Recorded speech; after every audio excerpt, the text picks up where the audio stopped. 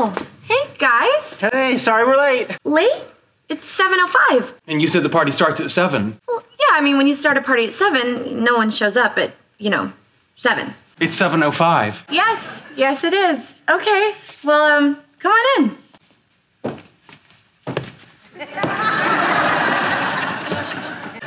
What, are all the girls in the bathroom? Probably, but in their own homes. So what time does the costume parade start? The parade? Yeah, so the judges can give out the prizes for best costume. You know, most frightening, most authentic, most accurate visualization of a scientific principle. Oh, Sheldon, I'm sorry, but there aren't going to be any parades or judges or prizes.